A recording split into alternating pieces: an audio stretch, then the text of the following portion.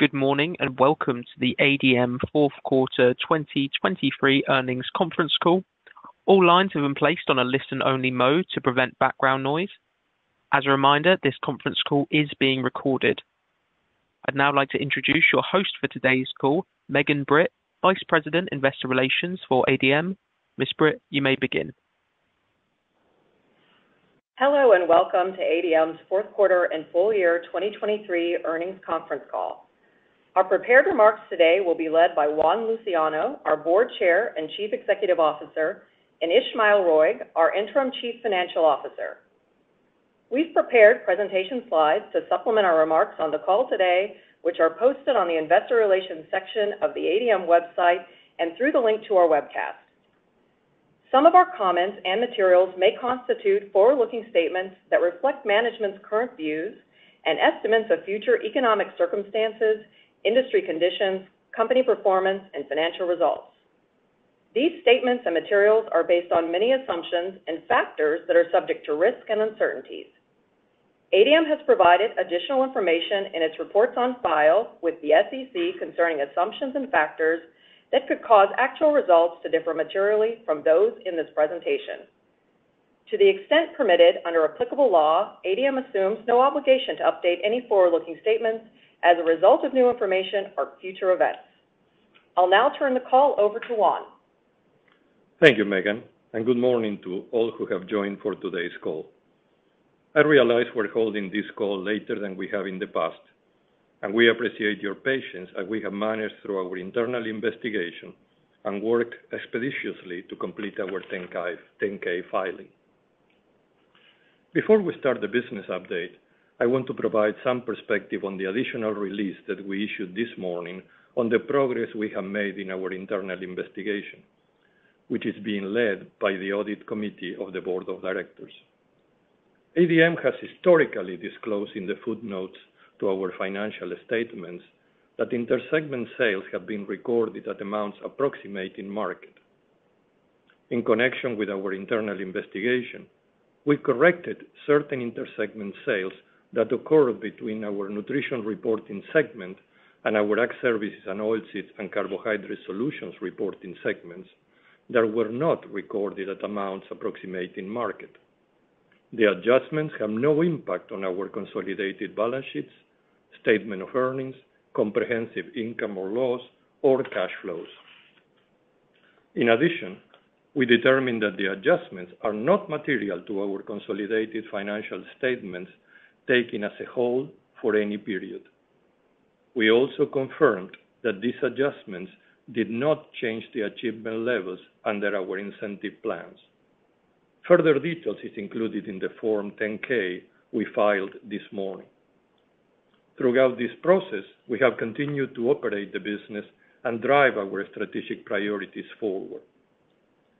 While our internal investigation is substantially complete, we continue to cooperate with the Securities and Exchange Commission and the Department of Justice, and we hope you understand that we will not be taking questions related to these matters on the call today. We will provide updates on this matter in the future as appropriate.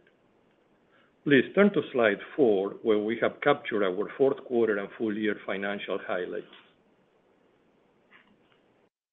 Today, ADM reported fourth quarter adjusted earnings per share of $1.36, and adjusted segment operating profit of $1.4 billion. Our full year adjusted earnings per share were $6.98, the second-best EPS in our history, and our adjusted segment operating profit was $6.2 billion. Our trailing fourth quarter adjusted ROIC was 12.2%, making another year of ROIC performance above our 10% target. Our full year operating cash flow before working capital was $4.7 billion. Our strong cash flow and disciplined management of our balance sheet continues to allow us to invest in our business and return cash to shareholders. In total, we returned $3.7 billion to our shareholders in the forms of dividends and share repurchases in 2023. In January, With the expectation of continued strong cash flows in 2024, we announced an 11% increase in our quarterly dividend, raising our dividend to $0.50 per share, which marks 92 years of uninterrupted dividends and over 51 consecutive years of annual dividend increases. Today, we also announced that our board has authorized the additional repurchase of up to $2 billion in shares in 2024 under ADM's existing share repurchase program. Our performance for 2023 shows the overall effectiveness of our strategy, where our broad portfolio of businesses combined to deliver resilient results for the year. Despite a more challenging operating environment, we maintained strong earnings and ROIC while delivering key strategic accomplishments across the enterprise. Next slide, please. To put our 2023 results into perspective, at the end of 2021, we provided a roadmap to create value and growth returns by getting closer to customers and highlighted where we expected to perform on several important strategic metrics by 2025. As I look at our two-year track record toward these 2025 objectives, we have delivered adjusted earnings per share at the top end of our $6-$7 per share EPS objective. We have also continued to deliver ROIC above our 10% target.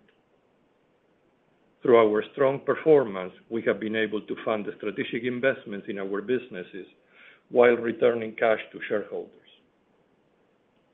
These strategic efforts and investments have positioned ADM even closer to the customer.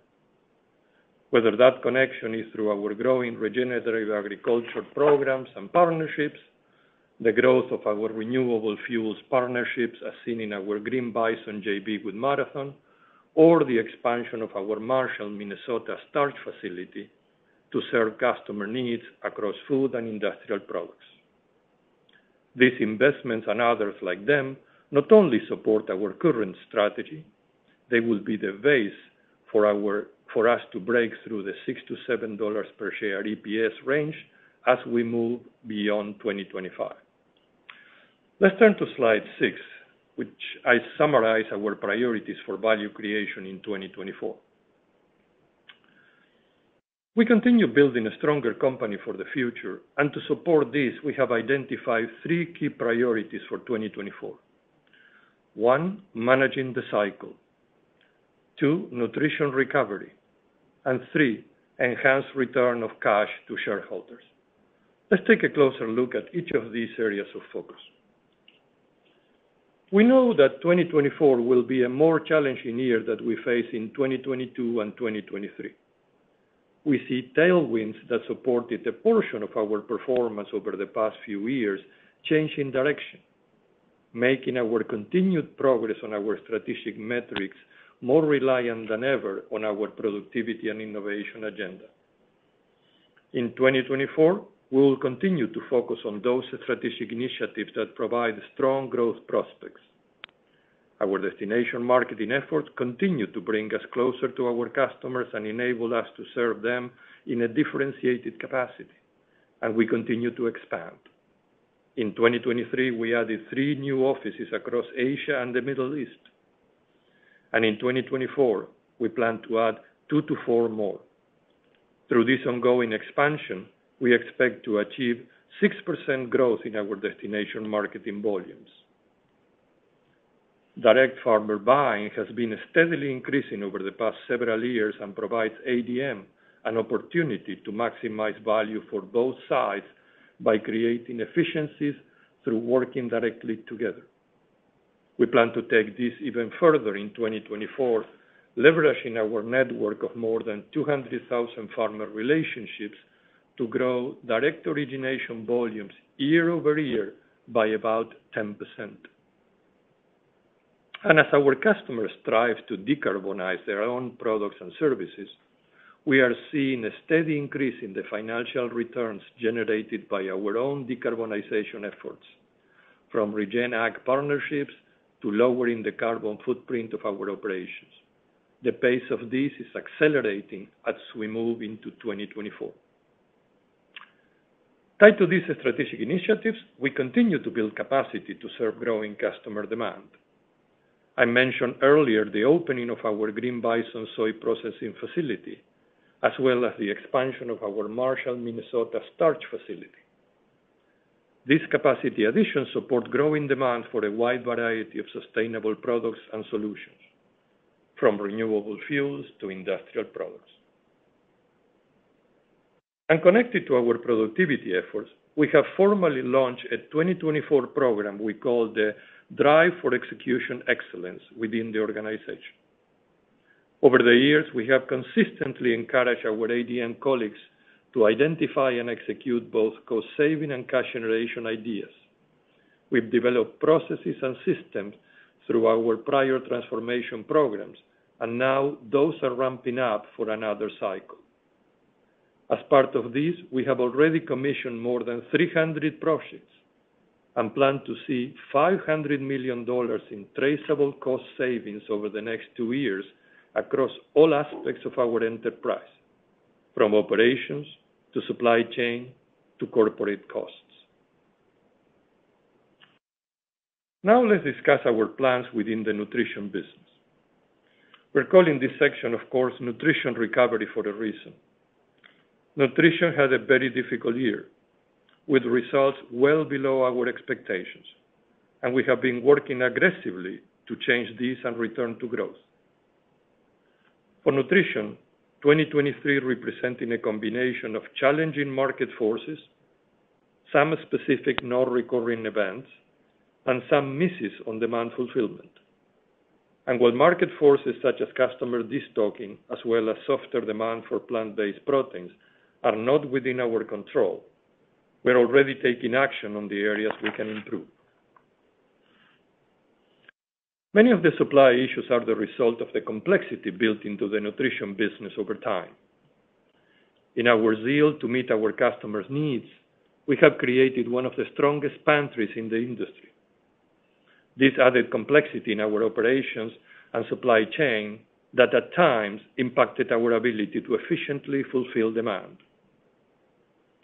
To address this, we have made important changes to drive simplification across the nutrition business that will ease the pressure on our overall supply chain and dramatically improve our demand fulfillment performance.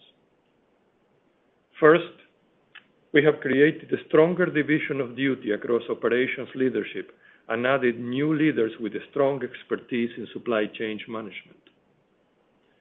We have also taken steps to build our COE expertise back into the core business, helping make our overall supply chain capabilities more agile and responsive to commercial demand signals. We have also engaged third-party experts to help identify further opportunities for operational excellence improvements across our largest facilities.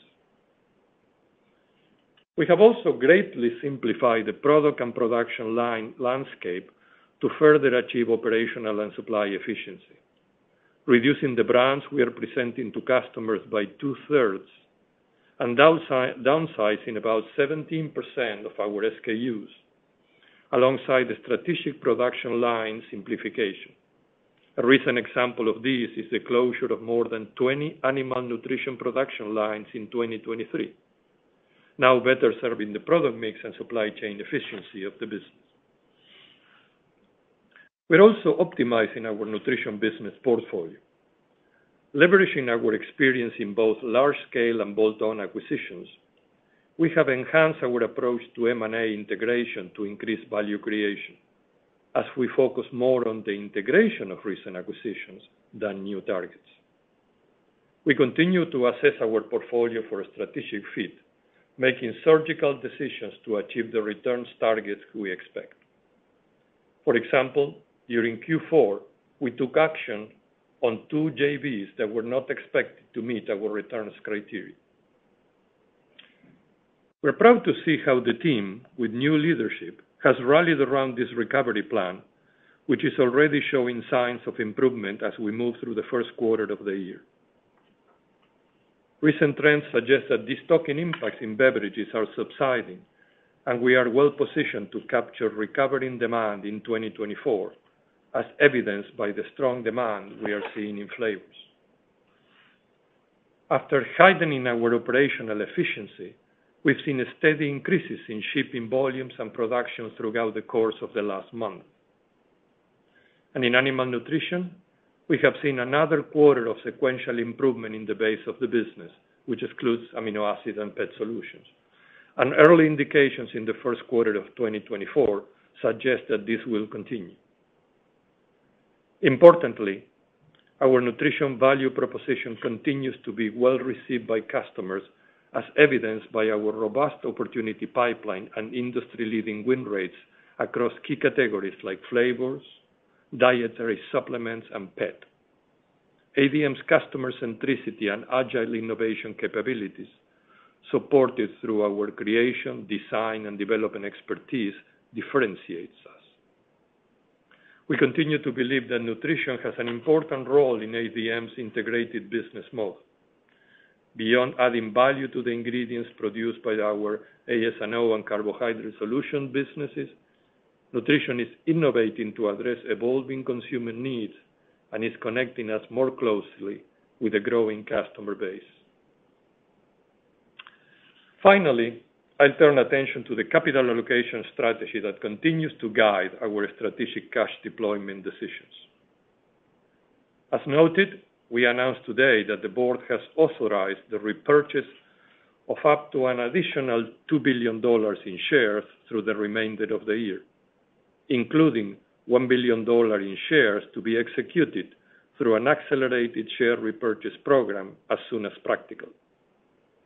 This will total $6.4 billion in repurchases executed since 2022, and coupled with the already announced 11% dividend growth, this is aligned with our commitment to a balanced capital allocation approach. So combined, we believe these three areas of focus set ADM to perform well in a challenging external operating environment in 2024. I would now like to turn the call over to Ismael for more detail on the results of the operations. Ismael? Thank you, Juan. Let's start on slide seven, which provides overall segment operating income and EPS for 2023. Overall, we delivered the second highest earnings in company history, overcoming a challenging operating environment. Adjusted segment operating profit was $6.2 billion for the full year, a 6% decrease versus the prior year.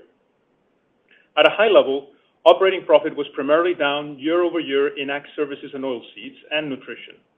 In the other segment, which includes ADMIS and Captive Insurance, we had a significant increase in operating profit. Adjusted earnings per share were $6.98 for the year.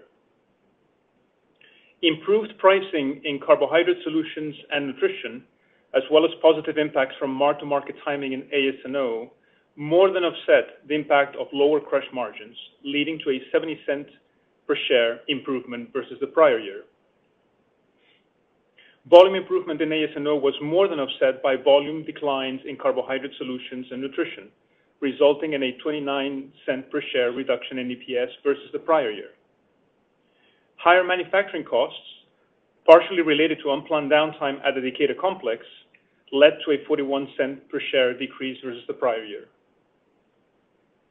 Then lower equity earnings, primarily related to Wilmar, attributed a $0.46 per share decrease versus the prior year. Increased corporate costs related to higher interest rates and the One ADM implementation, partially offset by higher ADMIS results, drove a $0.30 per share versus the prior year. For other, benefits from share repurchases were more than offset by negative impacts related to a higher adjusted income tax rate and cycling one-time benefits from the legal recovery and biofuel producer recovery program, leading to a $0.18 per share decrease versus the prior year. Moving to slide eight, let's look at our segment performance for AS&O. For the full year, AS&O delivered 4.1 billion in segment operating profit, 8% lower than the record level in 2022. Ag Services segment operating profit was 15% lower versus the prior year, as reduced origination volume and margins in North America were partially offset by record South American origination volumes. In global trade, the stabilization of trade flows led to lower results compared to an exceptional 2022. Crushing segment operating profit for the full year was $346 million, lower versus the prior year, as improved process volumes were more than offset by lower crush margins and higher manufacturing costs. Refined products and other results were $469 million higher, resulting in a record year. Results were driven by higher volumes and margins in biodiesel. Market volatility drove positive timing impacts of approximately $235 million, compared to negative timing impacts of $90 million in the prior year. Equity earnings for Wilmar were 303 million in 2023, approximately 45% lower than the prior year.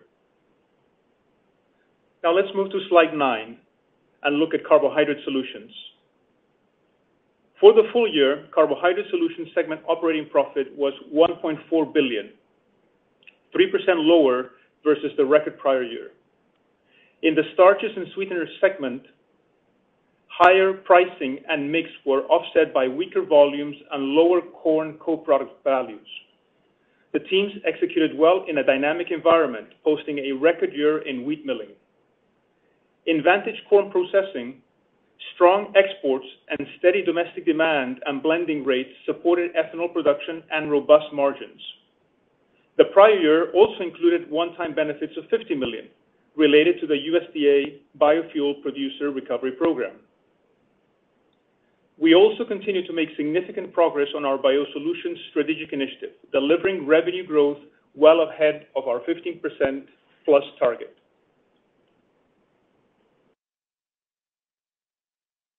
Please now turn to slide 10. In Nutrition, revenues of 7.2 billion for the full year were 6% lower versus the prior year. Demand headwinds and destocking impacts, coupled with operational challenges related to the ERP systems integration, pressured volumes. This more than offset price and mix benefits, as well as positive currency impacts. In Human Nutrition, volumes declined due to lower market demand for plant-based proteins, destocking impacts in beverages, and operational challenges related to the ERP system implementation. This was partially offset by improved price and mix in flavors and texture and pricing in specialty ingredients. In Animal Nutrition, lower complete feed and premix volumes, the normalization of amino acid markets, and demand fulfillment challenges in Pet Solutions led to lower revenue versus 2022. Now, please turn to slide 11. For the full year, Nutrition segment operating profit was $427 million, 36% lower versus the prior year. Human Nutrition results of 417 million were 25% lower than the prior year, as weaker volumes, as well as increased costs related to operational challenges from the ERP implementation and unplanned Decatur downtime at Decatur East, were partially offset by higher pricing. Animal Nutrition results of 10 million were 91% lower compared to the prior year, primarily driven by lower volumes and the normalization of amino acid pricing. When bridging from 2022, our performance can be characterized in three buckets: market forces, one-time items, and operational challenges.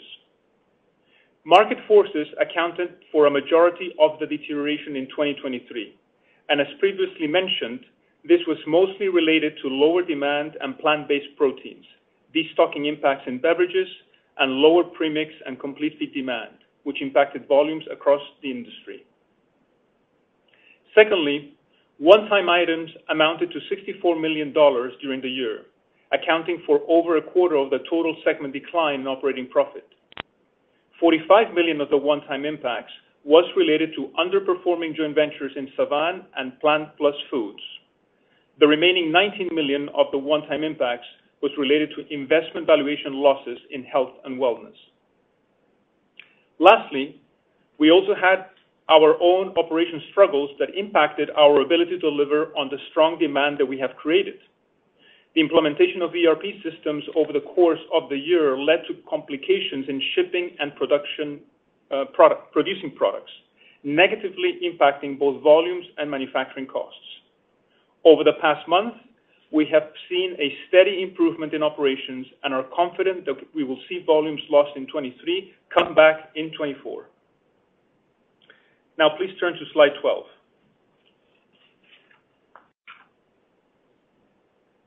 For the full year, other segment operating profit was $375 million, up 125% compared to the prior year.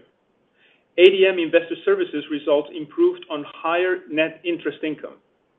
Higher captive insurance results on new program premiums were partially offset by higher claim losses.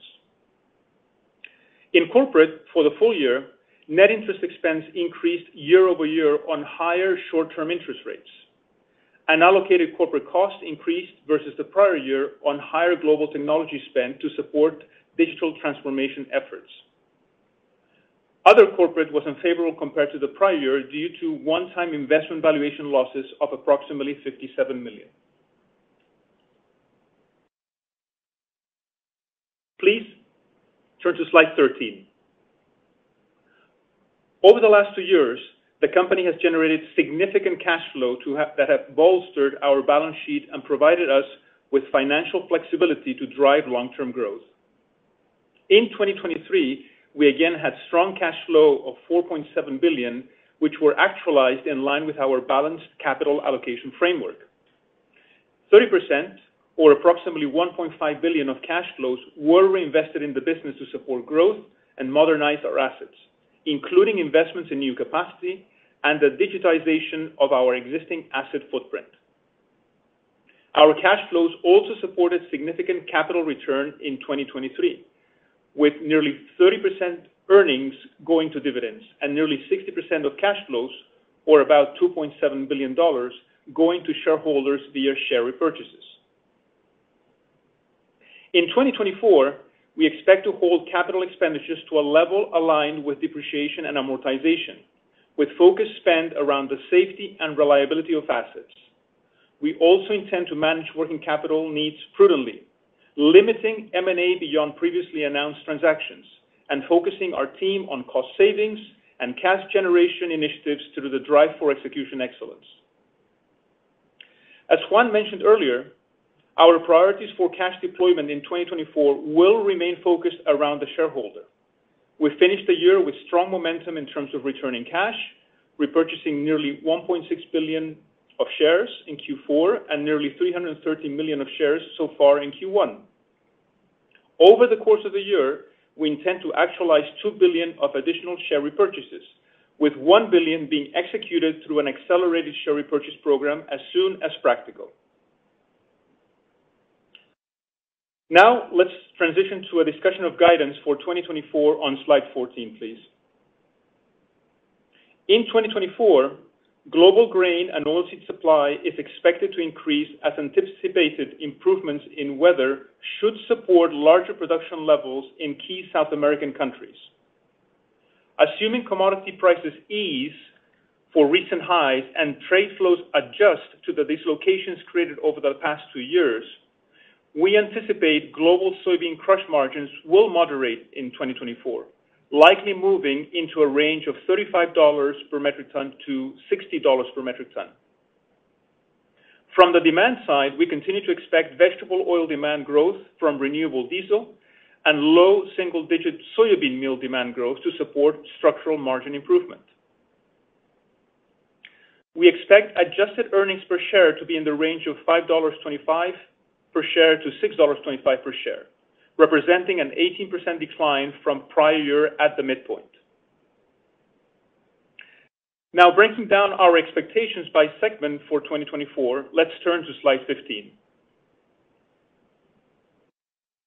In AS&O, we anticipate the first quarter to be lower and the full year to also be lower versus comparable prior periods, as increased global commodity supply and normalization of margins will weigh on the segment. We anticipate global soy crush margins within the range of $35 per metric ton to $60 per metric ton as the market balances better soybean availability against increased crush and renewable diesel capacity. Our operational excellence efforts and the ramp-up of our Green Bison facility should lead to mid to high single-digit improvement in our processed volumes. We expect significantly lower biodiesel margins in 2023, timing gains to reverse as contracts are executed. In Carbohydrate Solutions, we anticipate the first quarter to be lower versus the prior year. For the full year, we anticipate another strong year, but slightly lower than 2023, as improved volumes and margins in sweeteners and starches could be offset by weaker ethanol. For Nutrition, the first quarter is expected to be lower versus the prior year as we face headwinds from a normalizing texturants market, fixed costs associated with operational challenges related to the Decatur East and protein volumes. However, for the full year, we expect Nutrition to begin its path to recovery. We anticipate conversion of our significant pipeline opportunities in human and animal nutrition to yield mid-single-digit revenue growth. We assume market normalization in texturants to be a headwind in 2024. We do not anticipate the significant one-time events of 2023 to recur. Back to you, Juan. Thank you, Ismael. Please turn to slide 16. In summary, let me once again share the three priorities for our year ahead. We will continue our efforts across the business to drive our productivity and innovation portfolio of projects, taking advantage of capacity gains we have made, and ensure that our teams are generating and executing on our drive for execution excellence. We continue to take aggressive actions in the Nutrition business to ensure that it can deliver on the areas of growth that we have continued to build into our opportunity pipeline. This includes supporting the operational changes we have introduced, driving simplifications through our products and brands, and ensuring that our business portfolio is tuned to be to best achieve our return expectations. And we're also actively managing our balanced capital allocation strategy, both prudently investing in the business while growing our dividends and accelerating our share repurchase program to return more to shareholders in the near term. I believe strongly in the powerful role ADM plays as a leader in the agriculture supply chain, and that our ability to bring partners together across the value chain will be critical to driving future transformation in the food, feed, fuel, and industrial markets we serve. I want to express my gratitude to the ADM team for their dedication, hard work, and resourcefulness. I'm confident in our ability to deliver solid results as we move into 2024 and continue to pave a path for long-term profit growth. Operator, please open the line for questions now. Thank you. As a reminder, if you'd like to register an audio question, please press star one on your telephone keypad. If you change your mind, please press star two, and please ensure you are unmuted when speaking. Our first question comes from Adam Samuelson of Goldman Sachs. Adam, the line is yours. Uh, yes, thank you. Uh, good morning, everyone. Morning, Adam. How um, are you? Morning. Good. Um, so um, I guess my question is really around framing the go-forward outlook in terms of the cyclical versus the pieces that ADM controls. And you had the targets in the 2021 Investor Day still on the slides of returns and earnings per share.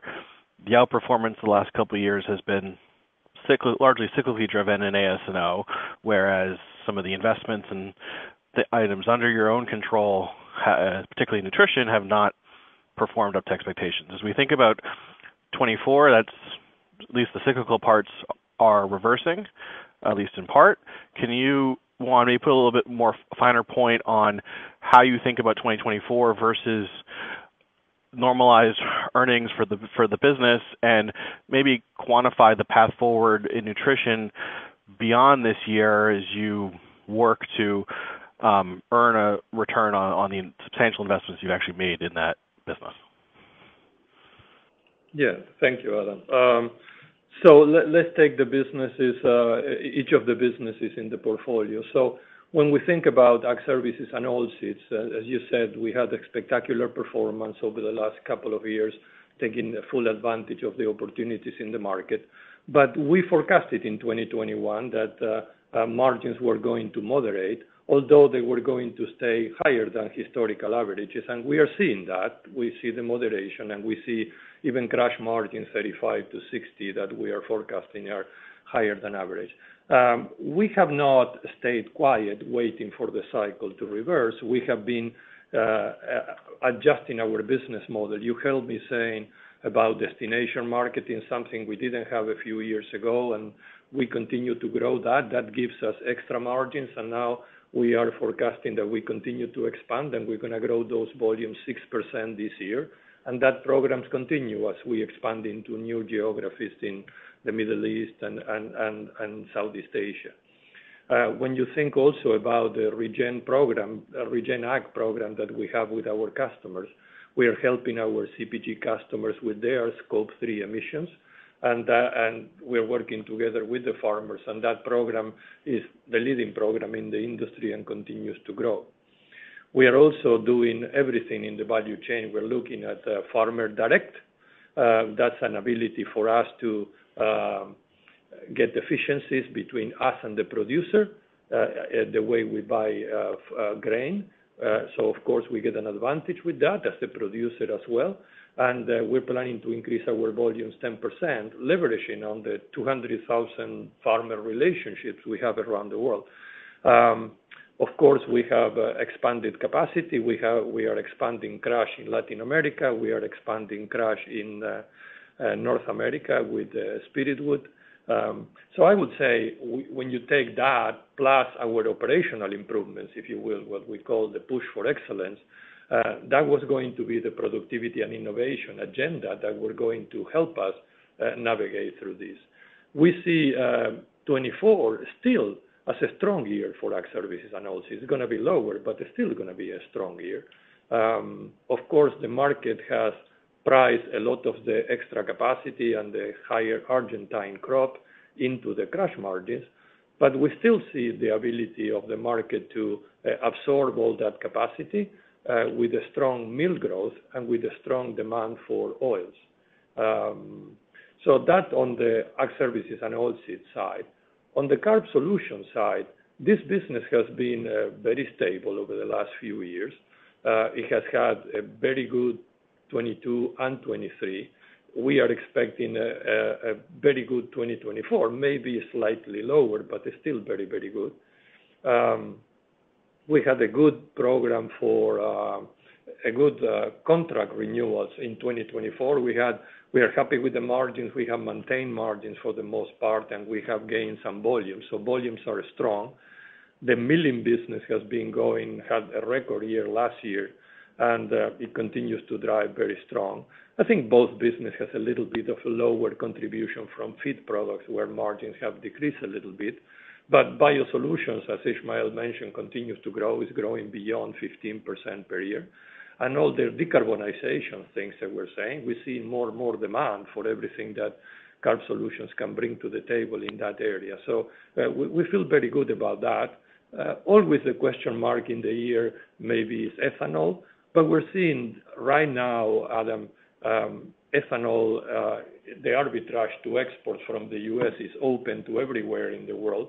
So it's just a matter of adjusting our capacity and the U.S. capacity to get more, um, more, uh, dehydrated ethanol, if you will, to be able to export, to adjust the humidity content, if you will.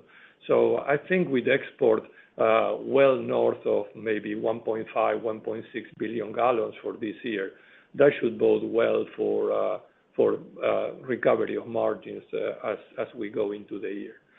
And then you take Nutrition. Uh, nutrition has been a growth story for many years, and we certainly stumbled in 2023. Um, I mentioned some of them, some of the reasons. Some of the reasons were there was a big destocking after all the COVID and all the supply chain issues that the industry had. The industry stocked, and now we went through uh, lower inflation and destocking about that. So we had to go that in beverages, which is which drives flavors, which is our biggest, you know, engine for growth, if you will. Of course, we knew into the year that plant-based proteins, we have moderated our expectations for growth on that. We'll still growth, but it's not gonna be beyond 10%, so it's still gonna be an attractive, you know, mid-single digit growth, if you will. But we knew that, and then we had um, continued growth in uh, continued good demand in pet and health and wellness. And uh, animal nutrition has been improving their P&L, doing a lot of uh, self-help from the June P&L It's been improving all year. So, um, unfortunately, we get to the Q4, and we had several events in Q4. We have several one-offs. We needed to uh, take action on a couple of joint ventures, and we addressed that. We needed to take Um, uh, revaluation of an investment because of a yen devaluation, and we took that in the Q4. And then we have some issues on our own performance that um, we needed to implement One ADM. As much as we prepare for that, you know, we had some problems with some of the modules. It was a successful implementation, but some of the modules that were about shipping products gave us trouble during the last quarter of the year. So when you have all that combination, it gave us a very bad quarter. Uh, we continue to see 2024 a year of growth for or recovery, if you will, from the 2023 value.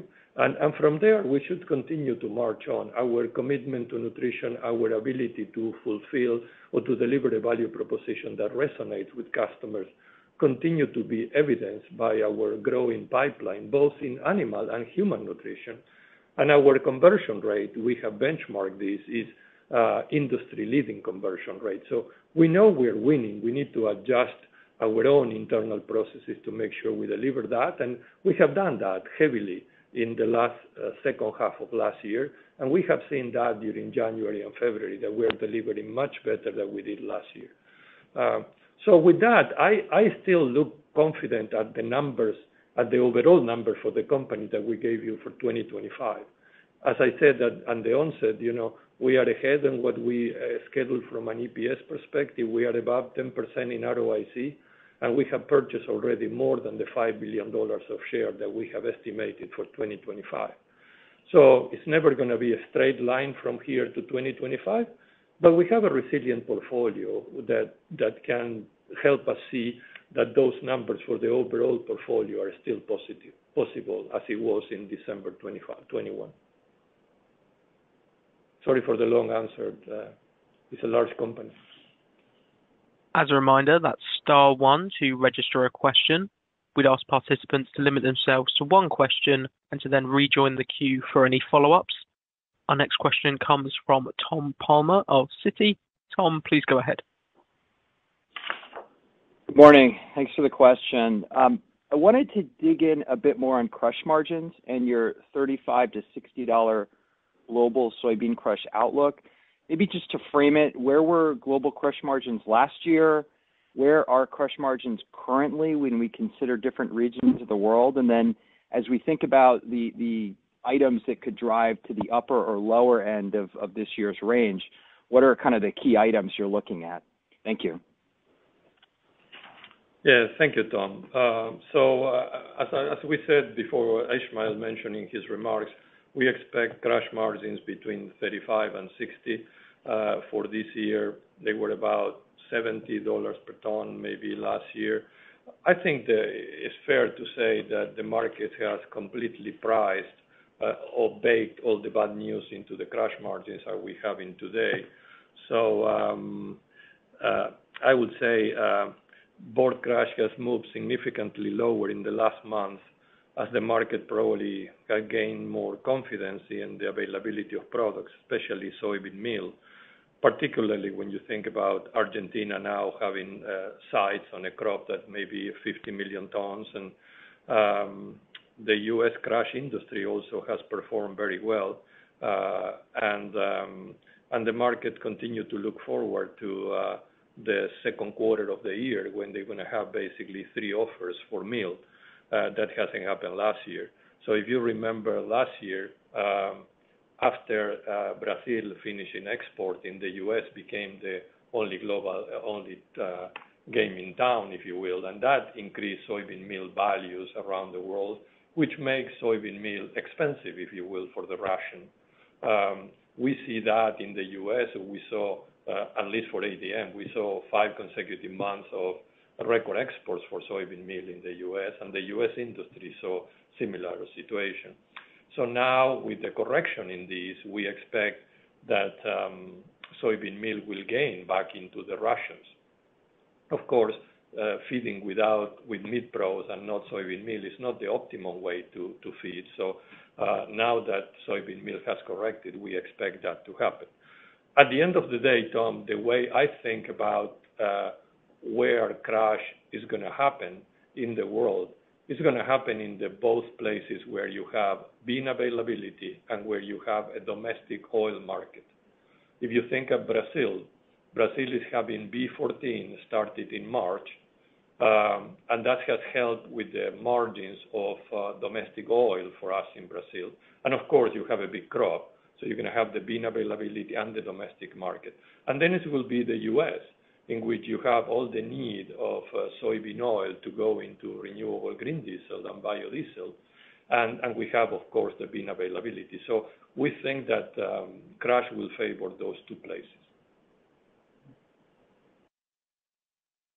Thank you. Our next question comes from Andrew Strelzik of BMO. Andrew, please go ahead. Hey, good morning. Thanks for taking the questions. Um, I guess ultimately my question is about 2025 and whether you view 2024 as kind of the trough year from an earnings perspective in terms of the cycle. And if I just follow up on maybe you made some comments at the end of the response to Adam about 2025. I didn't know if that was specific to the metrics around nutrition or the prior earnings guidance that you had talked about. If you could just kind of clarify the way that you're thinking about that. Is this 2024 an earnings number that from which you would expect to grow, uh, and then the 2025 comments with Adam? Thanks. Yeah, Andrew. Uh, uh, yeah, first of all, my comment before to Tom's question was the overall number that we gave for the company for 2025 in 2021, we still believe that number is there. Um, I think that uh, that number was never going to be a destination for ADM, was a milestone, if you will. And as we are reviewing our five-year plan that we do every year, we see us breaking through that number. So in that sense, I expect, you know, uh, 2024 to be a down year uh, versus 2023.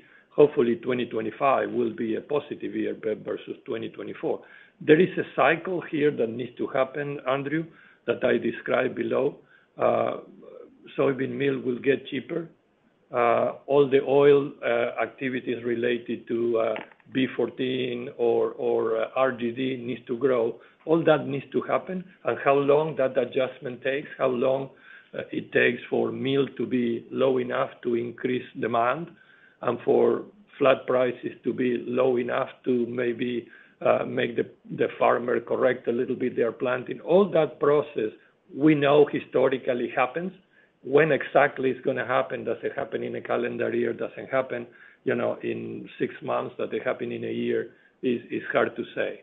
But uh, we continue to build a company that have more optionality, that's more resilience for the future. So as the cycle moderates, we continue to have uh, more ability uh, to bring more to the P&L. So we think with that, I'm optimistic about 2025 being better than 2024.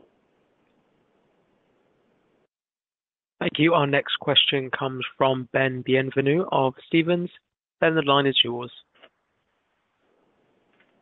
Good morning. Morning, Ben. Juan, I want to ask uh, as we think about the morning, I wanna ask, as we think about 2024 for the nutrition segment, Um, you note that you expect mid-single-digit revenue growth, uh, operating profit to be higher year-over-year. I think the natural inference would be that the operating profit growth is up by less than 5% or mid-single-digit revenue growth. Is that true? And then, uh, as you uh, you referenced in kind of the cadence in your expectations for the first quarter, this is a trajectory of recovery that will build throughout the year in 2024. You talk about pipeline conversion. Uh, are there residual headwinds, uh, you know, discontinuities from the Decatur complex still in the first quarter? Help us think through the sequencing of the development of return to growth and nutrition. Yeah, good question, Ben. Let me give you the puts and takes, if you will, on nutrition as we as we look at 2024. Um, so as Ismael said in his remarks, about half of the headwinds that we faced last year were market. That means that half of them were in the other two buckets, the non-recurring events, if you will, and those, by nature, we hope that we're not gonna have going forward. Uh, and then, I think Ismael qualified them about $60-something million, or give or take. Right. Right. And then, uh, the other ones were like, some of the demand fulfillment issues that I explained how Uh, we have uh, worked aggressively to correct, and we have seen good indication of that over the first two months of this year. So I would say, uh, those are the positive that we don't expect all that to happen again in 2024. You put on top of that a single-digit revenue growth, mid-single-digit revenue growth because of the pipeline that we have and the conversion of that pipeline, and that tends to happen every year. Then, as you described, we have to uh we have to have uh to face a correction of texturizing prices that were exceptionally high last year. We're not gonna have that, so that will be part of the negative side, if you will. And certainly, as we go through the year, we still need to bring the Decatur East plant back into operations, and that we have that that will have a tail of a cost. So I would say the year will be driven by a strong recovery in animal nutrition, in flavors, and uh, hopefully pet uh, with some tailwinds in the specialty ingredients. Uh, that's how we see. Our next question comes from Ben Theurer of Barclays. Ben, please go ahead. Yeah, good morning, and thank you very much for taking my question, Juan, Ismael. Um, wanted to follow up on um, carbohydrate carbohydrate solutions, because that obviously, as you've highlighted, has been a very um, solid performer last year. Even the outlook uh, looks very promising still in comparison to maybe some of the other segments for 2024. Um, and I wanted to understand where you are within your different asset bases, be it on uh, the ethanol side, but also particularly starches and sweeteners, um, for the need to invest into the business. Uh, where are you in terms of capacity, and what do you need to potentially allocate money to in order to to keep that business up where it is or potentially further grow it as it has gained uh, significance within the consolidated ADM results? Thank you. Yeah, Ben, I'm glad you're highlighting Carb Solutions. They had a spectacular year. They they deserve recognition, and they've done a fantastic job of uh, transforming their business into a very resilient and stable business. The assets, uh, let me take it by pieces. Um, the milling business, milling is an old business, so uh, that has uh, some old assets. And over the last few years, we have been doing, the team has been doing a terrific job of shutting down some assets and consolidating those in new facilities like Mendota, that we we launched last year. That is the best and the newest um, wheat milling plant in the world. So we are happy with the way they have done that. They continue to do so. So that that business is in good shape. When we look at the uh, wet mills, we continue to invest in part of the wet mills. We uh, unlikely that we're gonna build a new wet mill, as you can understand, but that business continue to be reinvested in. It's a business that is a large business, has a large uh, asset footprint, and at the moment, there is a lot of capital being associated with the path to decarbonize all these assets. So, uh, as you heard, we have um, a lot of efforts in trying to get uh, pipelines to try to monetize um, some of our CO2 that come from the biogenic CO2 that come from the ethanol plants. Um, So, I would say uh, we have expanded Marshall because BioSolutions is growing at, uh, you know, north of 15% per year, so we needed capacity. So the Marshall expansion is about a 50% expansion to the to the uh final start capacity that we have there. Um, and that will help a lot with that. Um, I would say the year is is uh, is is exciting as it is developing. It has solid margins. It has, so far, solid volumes. It had a little bit of a rough January because of the bad weather. We have ice in the plants and, you know, freezing weather. And uh, but, you know, February, March, things look good, and we think that that business has the opportunity to get some tailwinds from lower energy costs and maybe uh, uh, chemicals cost as the year go by, and that's a big uh, energy hog, that business. So that could be an advantage and a tailwind coming later in the year. Our next question comes from Manav Gupta of UBS. Manav, please go ahead. Uh, Thank you. I just had a quick question. When we look at the CARB recent proposals, and then we look at the 45Z, it looks both at the federal level and at certain state levels, uh, there is a desire to lower the amount of renewable diesel being produced from vegetable oil. And I'm just trying to understand, do you see that as some kind of a headwind, whereby eventually the demand for soybean oil from the renewable diesel or biodiesel industry would actually decline versus what we are seeing? Or you think this is just passing and the demand eventually will rise again as we move along? Yeah, thank you, Manav, for the question. Listen, I think, I think the path is clear for RD, that RD will need vegetable oils. When you think about uh, how Europe is doing, Europe not having a row crop for that, Europe needs, Europe needs uh, um, uh, cooking oil, waste, oils, and, and uh, they will capture that. The U.S. will have to be fed with, you know, with soybean oil, canola oil, and, and we see that commitment to be firm over the years. All these capacities being built, it cannot be filled with anything else. So we feel that is a strong trend ahead of us.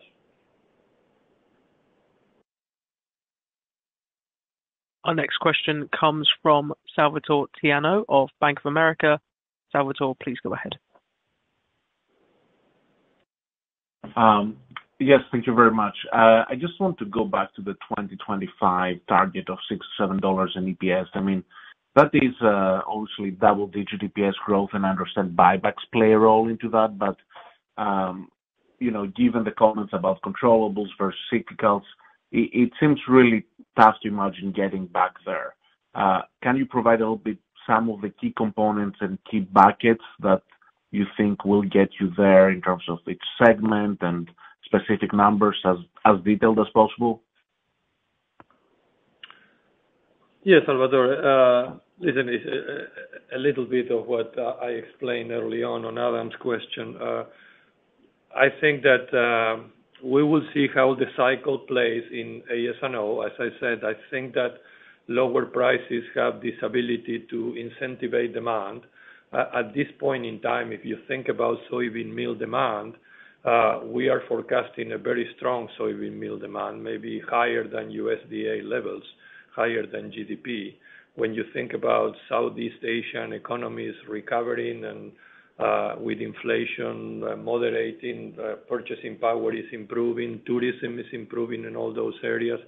You have, at the moment, very high prices of beef that's favoring pork and chicken. You have protein price, protein margins for chicken being better at that. So, um, we think that soybean meal will Uh, gain in the ration. So when we look at all that, we see the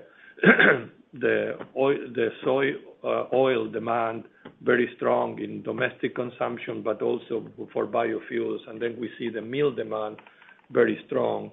We think that this correction should be probably uh, short term for crush, and that should come back. Again, I cannot make a prediction on the timing of that, but we know how the cycle plays. So whether it's calendar year this or six months later or a quarter earlier, I mean, it's not for me to venture into those guesses. I think that um, Carb Solutions, between the exceptional job they are doing on managing their uh, mature businesses and the growth that they are getting through decarbonization and biosolutions, you will see that ahead of us. Again, we just bring in the Marshall expansion. That's not something that it was in our uh, forecast last year. So we're gonna have it more in the next three quarters, if you will, of the year. Spiritwood, again, and some of the crush capacity we brought in Brazil. And then you see Nutrition, that Nutrition was not a contributor, certainly, uh, a big contributor to growth in 2023, but we expect it to be back to growth in 2024 and 2025. So those are kind of the buckets, if you will, that we that I see at the moment. Thank you. Our next question comes from Steven Haynes of Morgan Stanley. Steven, the line is yours. Hey, good morning. Thanks for taking my question. Um, maybe just to come back to Nutrition, I think in your prepared remarks, you talked about um, some portfolio refreshment going on there, and uh, was wondering if you could maybe size the scope of that. Are you thinking more kind of product line, you know, oriented here, or is this kind of, you know, more at the business level where you might be looking to monetize something? Thank you. Yeah, Stephen. Uh, listen, let me give you my thinking on that and the way we approach this thing. So we always look in uh, every time we do our five-year plan, we take a look at those units that whether they are not returning, uh, given our return expectations today, we're not forecasting it to do it in the medium term, and those are the ones that we tend to take action. So we took action with a couple of joint ventures, as I mentioned, and then we look at every unit that is underperforming. What we do first is we try to bring them to performance. So we make sure that if there are some things that are self-inflicted, if you will, we correct those things. Once we correct those things, and then we have visibility to what could happen over the next two or three years, then we decide as a part of portfolio, whether they belong in Nutrition, or they belong in another part of ADM, or they belong outside ADM. So that's a regular process we've done. We've done it in the past with, you know, fertilizers, Latin America. We've done it in the past, we divested Bolivia, we divested cocoa and chocolate. So we've done this, and now we've done it with a couple of joint ventures. We've done it also, uh, Ismael has done it in his previous job as an animal nutrition leader with some of the lines in animal nutrition, that we cut, like, 20 lines around the world. So sometimes we have exited countries. So it's a regular process that at times, maybe when you have a stumble like we had in Nutrition, you look a little bit deeper because now all of a sudden you have more businesses, uh, you know, uh, at lower performance. So we really want to see, is it worth investing in some of those? So we're in that process. So, uh, nothing to announce today, but we continue to look at that very deeply. Ismael? Yeah, just uh, a couple of complementary uh, comments, because not not only have we had some experience historically, as Juan correctly mentions, with cocoa and fertilizer, but certainly the animal nutrition was a good um, precursor to some of the thinking that we have now in mind for the whole of our Nutrition business. In the sense that usually when you acquire these businesses, they come with, um, you know, footprint allocations, you know, labs, um, um, farms, in our cases, uh, and uh, warehouses that, uh, when you aggregate them, start aggregate them across a number of different acquisitions, you realize that there are overlaps. And uh what we noticed is that there was a significant opportunity in animal nutrition to Uh, significantly simplify the portfolio by reducing the number of labs, reducing the number of uh, SKUs of plants. And uh we've seen those benefits. They've been occurring since uh, the second half of 2023. I think some of that thinking, as we have built this organization via a multiplicity of um, acquisitions, lends itself now to a pause and reflection in light of the successes that we've had with this Uh, to apply it more broadly to all of the portfolio. So that's where, um, you know, our capital prudence is gonna come in by focusing on ensuring that we um, improve our asset base uh, while, you know, returning cash to our shareholders. Thank you, Ismael. Thank you.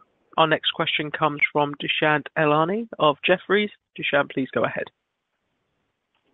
Thank you for squeezing me in. Um, I just wanted to quickly talk about Um, biodiesel margins, you know, going forward, your thoughts there are, you know, just around the system, both in the U.S. and internationally. Just, you know, how do we uh, uh, like frame our thoughts around that, and capacity as well? Yeah. Thank you, Dushyant. Um, well, oil used for biofuel production is, uh, as I said, is expected to grow.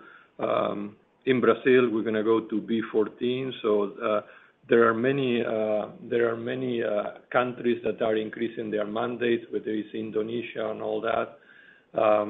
When you look at the overall balances around the world, you see plantations in Southeast Asia getting older, the trees getting older, so maybe less production of palm oil. So you're gonna see biodiesel mandates increasing around the world and less competitive pressure, if you will, for palm oil. So you're gonna see the pressure on vegetable oil. So, uh, we think that um, that will continue to be a strong leg of the crush. Biodiesel, in particular, biodiesel margins are better right now for us in Europe.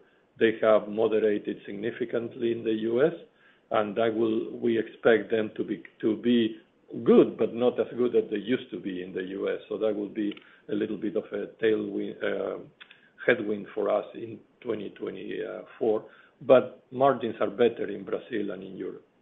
Thank you.